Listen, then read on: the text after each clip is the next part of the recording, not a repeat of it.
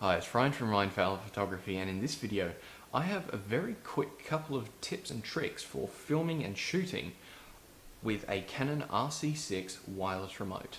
These are very cheap, very easy to pick up. You can get them for like $25 for the genuine one on eBay, I think it is. Um, but if you're doing stills, there's a little option on the back where you can either put it on the dot or put it to the number two. If you're doing the dot, that will take an instant photo with the, with the remote. If you put it on the number two, that will actually activate the two second timer as well. And uh, if you're doing filming, this is what this video is really about. If you're doing filming, uh, it's great because if you put it on the, the little slider on the dot, you can take a photo of what your camera is seeing.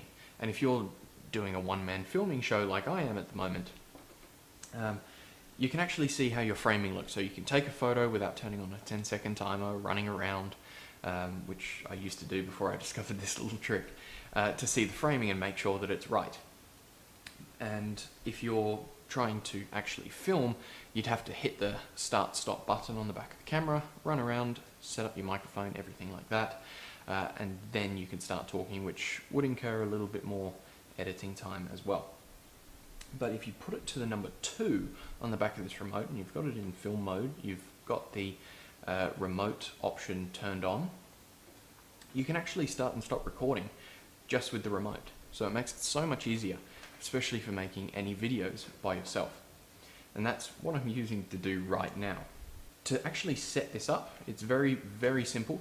On just about every Canon camera, uh, I'm not sure about some of the older models, but there is a little 10 second timer slash remote option. As long as you've got the infrared sensor on your camera, there will be a remote option. Uh, on some of the higher end models, like the Canon 6D that I'm shooting on now, it's got a 2 second or remote or a 10 second and remote option. Uh, and I've got it on the 2 second, I could have used the 10 second, either one would have worked perfectly fine. But that's under your drive mode, and I had a little bit of trouble figuring that out when I first started using the remote. I, I didn't know where the option was or how to set it up.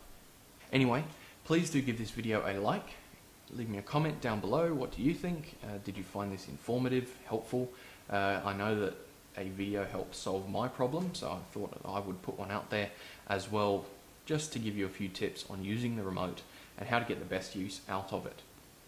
And then make sure you subscribe. I'm always producing more videos. Every week I'm putting, well, just about every week, I'm putting out something brand new. Uh, I'm working a lot on video content and creating more for the YouTube channel.